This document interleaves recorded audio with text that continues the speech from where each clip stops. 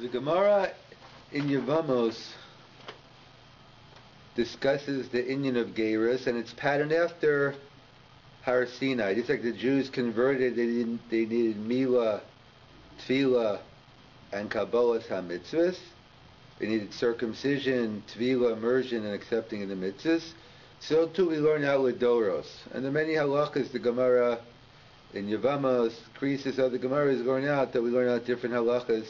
It's patterned after Ma'amad Har Sinai.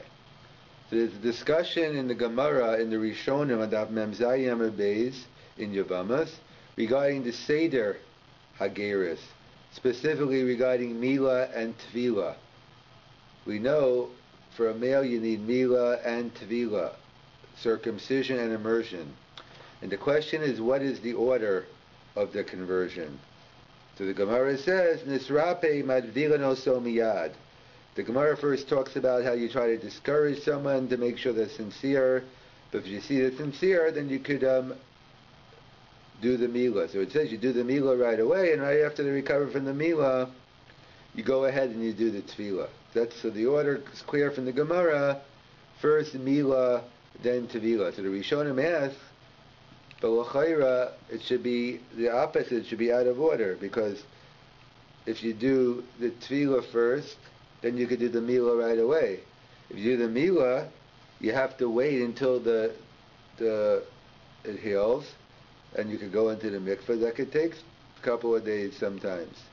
So therefore, you want to, you don't want any unnecessary delays. You could, you want the person to once, once the person's converted, you want it to happen right away. Like anything, like you don't, you, you have you take your time, you're deliberate, making sure that the geirus is good. The person wants to convert, but once it happens, you do it right away. So, what about so so why not here? Why don't we do first the tevilah, then the milah? That's a major machlokas rishonim on whether the seder hamila is ma'akev not. There's an obstacle in performing the mitzvah. The Ramban writes two days in the Ramban, but the Ramban writes that no, it's we should do militz first, but it's not likuva. It's only in order to show that once he, if he does the mila, he's less likely to back out at that point. Just a more pragmatic reason to show he's really going to go through with it, and when, because if can do the tevilah, he might back out before the mila. Once he does the mila, less likely he's going to be backing out. So it's more of a pragmatic, technical issue, but if you do the tevilah then the mila, it's not an issue in terms of the ger becoming a yid, ger becoming Jewish. However, the Rashba, the Ritva, there are other Rishonim disagree and say the Seder is ma'akev. One has to do the tevilah last. You have to be first the Mila, then the tevilah. And so, why do you have to have the Mila and then the tevilah? So the Rishonim right is to remove the tumas akam va'arolas, that a person's an aro, an uncircumcised, he's not Jewish, in order to prepare himself to become Jewish to purify himself. So you do you take away the aro, you take away the tuma, and then only then you could go ahead and go into the mikvah. And that's why he says if you do the tevilah first, I think the expression of the Rashba, one of the Rishonim is, or the Rish, the Ritva, the Rashba, a tovel v'sheretz biyado. It's like holding a impure creature in your hand. In fact, a friend of mine um, told me once he had a shaila that a woman found a frog in the mikvah when she was in the mikvah. In the, and they they wanted to know if it was a shaila of tova v'sheretz biyad. Of course, the answer is no. Frogs are mitame and they're alive, but that's what it says here. That if you go to the mikvah first and you still have the mila, it's like tova v'sheretz biyado and therefore it's a no-go. So therefore the those Rishonim, the Rashba, the Ritva, they say it's Rikuva. You have to have the Tevilah done last. So it's a Machlokas Ramban versus the Rashba and the Ritva and the Ra'ah. And in fact, one of the Rayas they want to bring it's in the Gemara in Yevamos, the Ramban says. Gemara in Yevamos, Ayin Chesam and Aleph. The Gemara talks about a pregnant woman, a non-Jew who's pregnant, she converts. So the Gemara says her tevilah is effective for the uber, for the fetus. And therefore, when the baby is born, all the baby, the baby does not require any tevilah to complete the, to complete the gerus. So the Gemara says a pregnant woman, when she converts, the child does not need another tevilah. Apparently, so if it's a male, you're going to do the mila later. So we see mila happens after the tevilah. So the Ramban writes, just like we see in this case of the pregnant woman, that the mila is done after the tevilah, and we consider this a good conversion.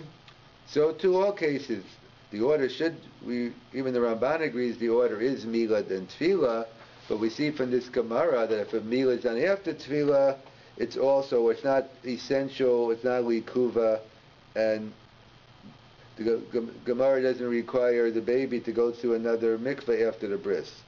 That's the raya of the Ramban. What is the Rashba, other Rishonim say, who say the Seder Tevilah is Ma'akiv, you have to do the Mila first. If you do the Mila after the Tevilah, you have to do another Tevilah. So the Rashba says, and the Gemara says the, the mother's Tevilah works, the Rashba says it's only referring to a nekeva. It's only talking about a female fetus. For a female fetus, that's enough. You do the tevilah and that's it, because there is no mila. But in the case of a zachar, in the case of a male, the mother's tevilah is not effective, and therefore, since the mother's tevilah happened before the bris milah, so according to the Rashba, to complete the conversion, you must have the mikvah after the milah. So the Ramban says that Gemara is a raya. We see tevilah works before milah. And the Rashba says it's no raya. It's only talking about a female, but a male does need to do a milah, then do, do another tevilah. Other Rishonim, the Ritva quoted about in the Muki Yosef and others, that since at when at the time when the mother is converting, it's just a fetus and it's inside the mother's womb, so it's not right to do a meal at that point.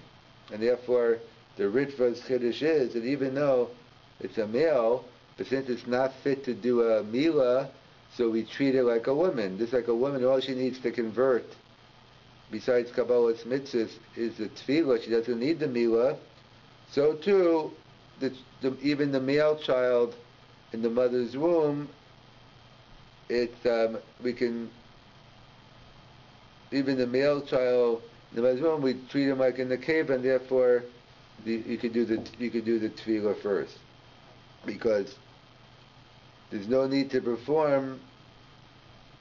You know, there's no need to have a milah first because Tosis writes we view him as in the keva. So to summarize, we have a major machlokas rishonim. When the Gemara says in Yevamos do you need the milah before the tevilah, is it likuva not? The Ramban writes, no, it's pragmatic, and his right is the Gemara in Yevamos, ayin chesam and aleph, that we see with the mother's tevilah is effective even for a male fetus, and therefore it's not essential that this cycle works their tevilah before the milah, so too, in all cases. The Rashba says no, the mother's tevilah is not effective for a male, only for a, a woman fetus, and therefore, after the milah, the child has to do another tevilah. And according to the Ritva and the Ra'ah, you don't require Mila for the conversion. In this case, he's treated like a male. He becomes a full-fledged Jew prior to prior to birth at the time of the mother's tevilah. But of course, eight days later, since like every other Jewish baby boy, you have to have a bris on the eight. You're still Jewish without the bris, but um, you just need the bris in order to be machnas atzmo we have to, to, to be nechna to the bris of Avram Avinu.